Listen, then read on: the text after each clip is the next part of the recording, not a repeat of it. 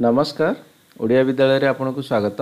ଆସନ୍ତୁ ଜାଣିବା ଆଜି ମଙ୍ଗଳବାର ସକାଳର ସମସ୍ତ ନ୍ୟୁଜ୍ ହେଡ଼ଲାଇନ୍ସ ସୃଷ୍ଟି ହେଲା ଲଘୁଚାପ ପ୍ରବଳ ବର୍ଷା ହେବା ନେଇ ଆଞ୍ଚଳିକ ପାଣିପାଗ କେନ୍ଦ୍ର ପକ୍ଷରୁ ସୂଚନା। ରୁଚିକା ମହାନ୍ତି ଆତ୍ମହତ୍ୟା ମାମଲାରେ ମାମଲା ରୁଜୁ କଲେ ରାଜ୍ୟ ମାନବାଧିକାର କମିଶନ। ଆସନ୍ତା ଜୁଲାଇ ଛଅ ଦିନ ଗୋଟାଏରେ ପ୍ରକାଶ ପାଇବ matric result matric result double double double dot BSC Odisha dot AC dot ଇନ୍ରେ ଉପଲବ୍ଧ ହେବ। ଜୁଲାଇ ଶେଷ ସପ୍ତାହରେ ପ୍ରକାଶ ପାଇବ ଦ୍ୱାଦଶ ରେଜଲ୍ଟ ବିଦ୍ୟାଳୟ ଓ ଗଣଶିକ୍ଷା ମନ୍ତ୍ରୀ ସମୀର ଦାସ ସୂଚନା ଦେଇଛନ୍ତି।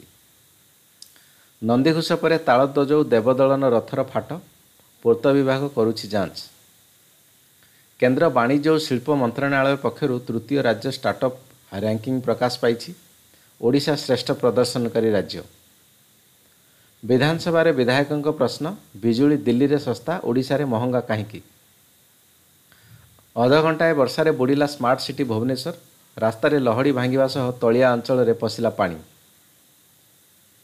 ଗୋଟିଏ ବାଇକ୍ରେ ପାଞ୍ଚ ଜଣ ଆସୁଥିଲା ବେଳେ ପଛରୁ ଧକ୍କା ଦେଲା ଟ୍ରକ୍ ଚାରି ମୃତ ନୂଆପଡ଼ା।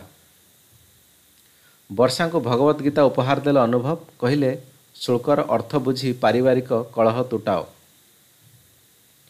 ନିଜ ସଂଘର୍ଷ କାହାଣୀ ବଖାଣିଲେ ଦ୍ରୌପଦୀ ମୁର୍ମୁ କହିଲେ କେମିତି ବଣ ଜଙ୍ଗଲ ଘେରା ଗାଁରେ କଟିଥିଲା ପିଲାଦିନ।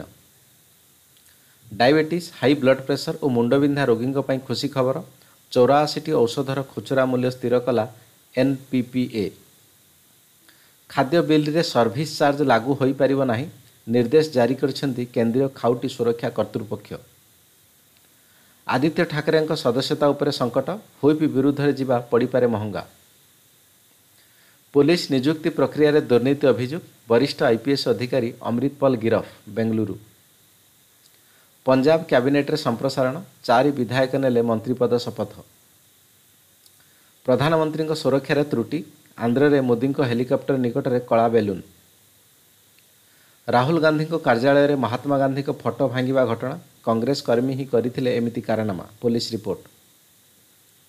Asian track cycling ଚାମ୍ପିଅନସିପ୍ରେ ବ୍ରୋଞ୍ଜ ପଦକ ବିଜୟ ସୁସ୍ତି ସିଂ ଏବଂ ଦିନେଶ କୁମାରଙ୍କୁ ସମ୍ବର୍ଦ୍ଧନା।